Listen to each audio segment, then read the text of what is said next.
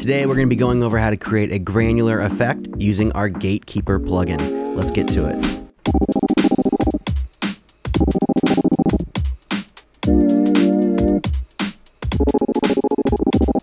Let me show you how we make this effect. Let's go. We're going to bring this to 10 milliseconds. And then also what we're going to do is we're going to come over to this pan and we're going to alternate that as well.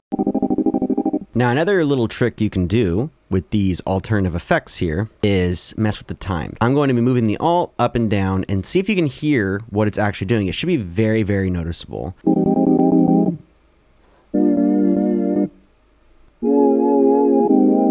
I am Zach with Polyverse Music, and this has been a video demonstrating how we can use Gatekeeper to create a granular synthesis sound.